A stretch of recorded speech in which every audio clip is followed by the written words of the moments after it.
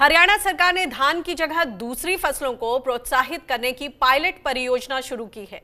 लेकिन अपने मौजूदा ढांचे में यह किसानों को घाटे का सौदा लग रहा है।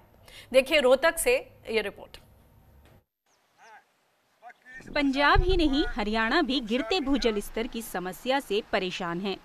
प्रदेश में धान की खेती को जल दोहन की वजह मानते हुए मनोहर लाल खट्टर सरकार ने इसकी जगह मक्के और दलहनी फ़सलों को बढ़ावा देने के लिए सात ब्लॉक में पायलट परियोजना शुरू की है। इसके तहत किसानों को निशुल्क बीज और प्रति एकड़ दो हज़ार रूपए की आर्थिक मदद के साथ निशुल्क फ़सल बीमा योजना और फ़सलों के न्यूनतम समर्थन मूल्य पर खरीद करने जैसी बातें शामिल हैं। लेकिन ये बात किसानों के गले नहीं उतर रही है। इस बात से बिल्कुल सहमत नहीं है। दो हज़ार में क्या होता है आजकल? कुछ भी नहीं आता दो हज़ार में। और धान के अलावा कोई और कोई साधन नहीं। कम से कम भी दस हज़ार रुपये तो कम से कम है। कितना खर्चा दस पंद्रह हज़ार रुपये खर्चा तो वैसे दाना मुँह लाग गया है। किसान न केवल आर्थिक मदद को कम बता रहे हैं बल्कि धान की तरह दूसरी फ़सलों को न्यूनतम समर्थन मूल्य पर खरीद होने पर भी आशंका जता रहे हैं। बीते दिनों सरसों उगाने वाले किसानों को इसे न्यूनतम समर्थन मूल्य पर बेचने में काफ़ी मशक्कत करनी पड़ी थी।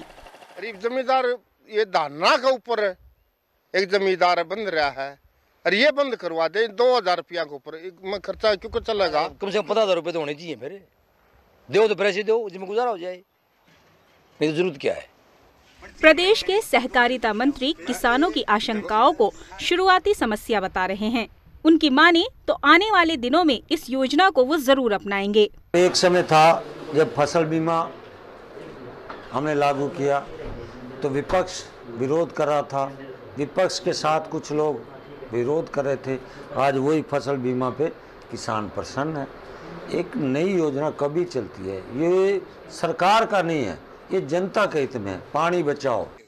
हालाँकि जानकारों ने गिरते भूजल स्तर के लिए केवल किसानों को जिम्मेदार ठहराने पर सवाल उठाया है। उनकी माने तो फ़सलों की विविधता लाकर पानी की खपत घटाने के साथ उद्योगों से लेकर आम घरों तक भी पानी की बर्बादी रोकने की ज़रूरत है। हरियाणा के रोहतक से दिनेश कौशिक के साथ ब्यूरो रिपोर्ट स्वराज एक्सप्रेस। और इस खबर पर हमारे साथ जुड़ गए हैं फ़ोन लाइन पर कृषि विशेषज्ञ देवेंद्र शर्मा जी। देवेंद्र जी बहुत बहुत स्वागत है आपका किसान बुलेटिन में। तो पूरे देश में पानी को लेकर हाहाकार मचा हुआ है। हम देख रहे हैं कि किस तरह से लोग परेशान हैं और जब बात करें खेती किसानी की तो यहाँ हरियाणा में जो एक पायलट प्रोजेक्ट के तौर पर सेवन सात ब्लॉक्स में ये योजना शुरू की गई है जिसमें कि पानी का कम दोहन हो और आ, कोशिश की गई है कि दूसरी फ़सलें उनको उगाने के लिए प्रोत्साहन राशि दी जा रही है और प्रति एकड़ दो हज़ार रुपए की आर्थिक मदद की बात हो रही है, निशुल्क बीज की। लेकिन हम देख रहे हैं, हमने सुना इस रिपोर्ट में कि किस तरह से किसान के गले नहीं उतर पा रही और बहुत ही संशय है उनके दिमाग में इस योजना को लेकर। आप इसे किस तरह से देखते हैं?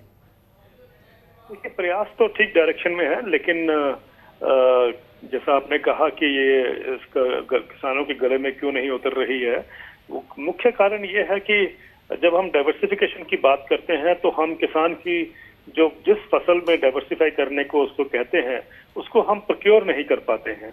और ये किसानों का एक्सपीरियंस रहा है कि कोई अश्योर्ड प्राइस पर अश्योर्ड अगर प्रोक्योरमेंट होती है तो किसान ज़रूरी है कि उसकी तरफ़ जाएगा।